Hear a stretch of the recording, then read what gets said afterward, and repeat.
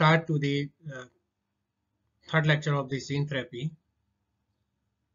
In gene therapy, in previous lectures, I told you about the consequences of the gene therapy and what is gene therapy and principle of the gene therapy and things.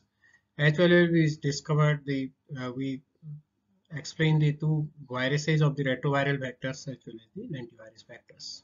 Today I will uh, explain the uh, few more viruses which are respons which are used as a vectors for the gene therapy as well as we will talk about the non-viral based vectors also.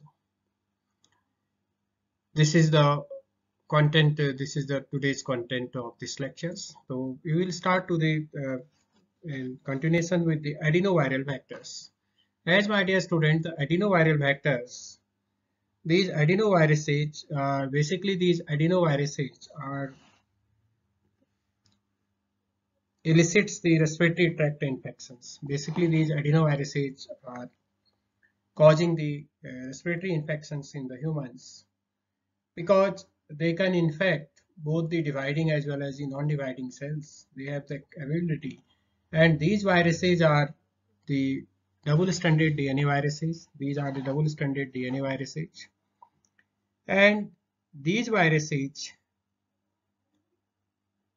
they cannot integrate to their DNA into the host cells and so therefore they can remain as a episome in the nucleus. They can remain as a epis episomes in the nucleus whenever they are doing the infections. As a resultant, what will be happening when they are exist as episomes, then we need a constant supply of the gene product. Then we need a constant supply of the gene product. And for that constant supply, we we wants to maintain the permanently the supply of the repeated doses of the gene. We need the repeated doses of the gene because they cannot integrate to the genome of the host host host genomes. That's why for effective gene therapy, we need a constant supply of the gene, gene. And I think that it is a disadvantage also because if you are uh, providing the repeated doses to the host, so it will become the immunogenic. It will become the immunogenic and now these viruses will become immunogenic and they elicit to the immune response. But uh, the advantage of these viruses is that they can accommodate a large size of the genome up to 30 kilobase pair. This is very important. They can uh, deliver the approximately 30 kilobase pair gene product gene and and that's why uh, these vectors these these viruses these adenoviruses uh, who are, are used as a viral vectors for the gene therapy the another set is adeno-associated viruses. The adeno-associated viruses are, they are small viruses. They are small viruses and these viruses are depends on the adenoviruses for their replication process. And these adeno-associated viruses can integrate to their DNA, can integrate to their DNA to the host genome. These are the, they are also the DNA viruses. And these adeno-associated viruses integrate in the human genomes, specifically in the chromosome number 19. This is important. And when they are integrated with a specific locus of chromosome number 19 by that process, they cannot disrupt the other human genes and their integration is both mitotic as well as non-mitotic cells also. So therefore, these adenovirus genomes can be replaced as therapeutic genes also and they accommodate up to 5 kilobase pair gene. Next is the herpes simplex. These are also a double-stranded viruses.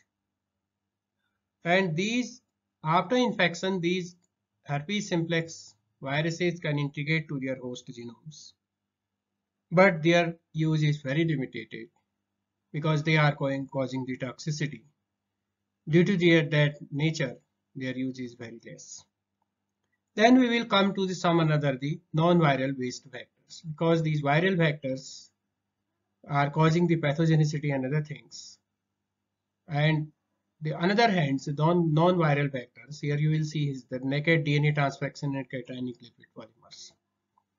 In non-viral vectors, because you need you know very well about that the, the in case of the safety point these viral vectors are not safe not safe this is the major problems but even after the pseudotyping these viral vectors are used for the gene therapy process.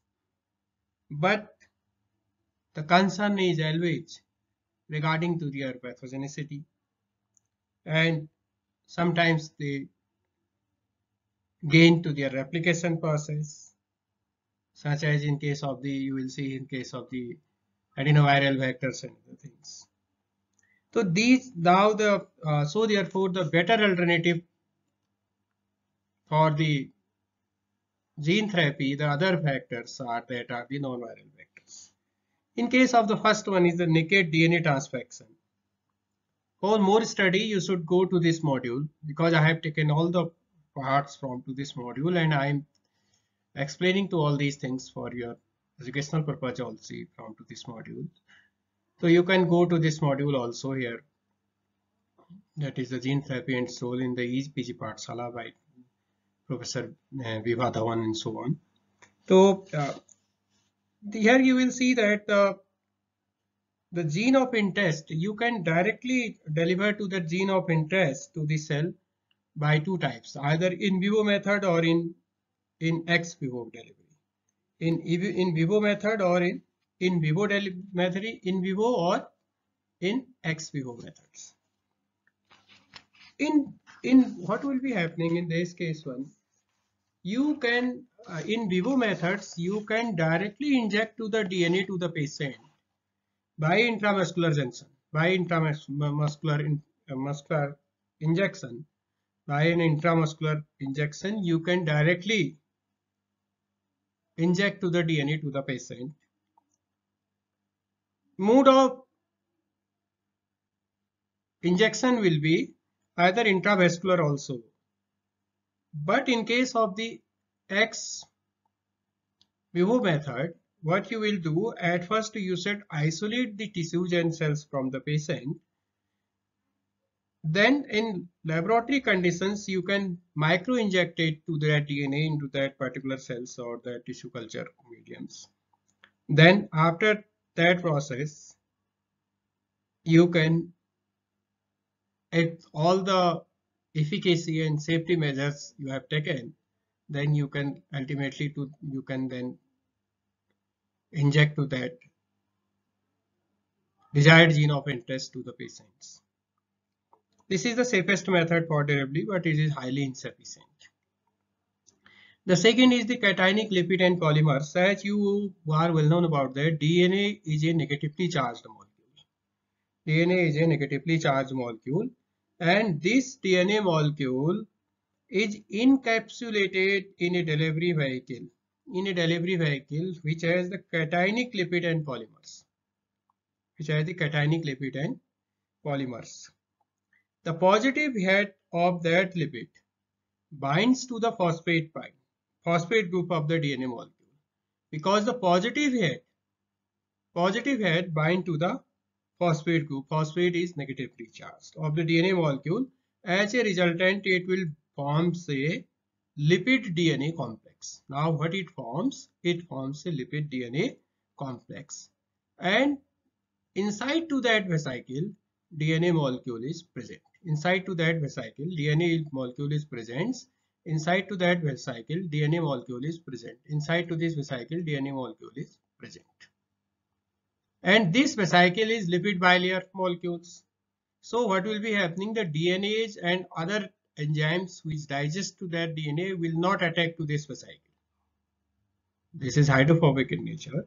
So now what will be happening that uh, then these lipid molecules, now these lipid molecules by non-specific endocytosis process, by non-specific endocytosis process, this vesicle will enters to the cell, will enters to the, will enters to the cell. Then this vesicle now released to the DNA contents in the cell. Now this DNA molecule is transported to the then again to the nucleus. Now this DNA molecule is transported to the nucleus because in nucleus the, the host genome is present. And there are many other factors also. There are many other factors. This is a uh, there which uh, regulate to that process. Number one for formation is the lipid DNA complex. Second is efficiency of that endocytosis process. This. And third is the transport of this DNA molecule to the nucleus. So these are the barriers. These are the barriers. Whenever these DNA molecules will overcome to these barriers, then it will reach to the to its target site that is the nucleus. Now what will be happening that if you will see that so the the formation of that lipid depends upon the cationic lipid and the polymers and now the question is if the DNA is here how this DNA will goes to this nucleus so there is some NLS that is a nuclear localizational signal this nuclearizer, this nuclearizer localizational signals this NLS molecules if you know about the important proteins and exportin proteins the important proteins will bind to the NLS alpha important then it will import to this nucleus molecule here also in the nucleus. So these NLS molecules and, and by that process they will um, improve the efficiency this NLS binding of this NLS molecule will improve the uh, the efficiency of this nuclear transport. I think that my dear students today I will uh, explain in this lecture uh, some viruses that are the uh, some viruses that the adenoviral vectors uh, up to 30 kilobase pair and they can uh, transport to the DNA and the adeno-associated adeno-associated viral vectors they can transport it up to, to 5 kilobase pairs. And the herpes simplex viral vectors also they have limited use due to toxicity. Then uh, i explained the some naked dna transfection how the uh, dna is injected in the patients either in vivo and in in vivo methods in vivo methods or ex vivo methods. In in vivo method, you can directly inject to the DNA in either intravascular or intramuscular junctions to the patient. And in vivo methods, you can culture and after the culture product, you can uh, inject to that thing. The another is the cationic lipid polymer complex inside to the vesicle. DNA is in, encapsulated inside the vesicle.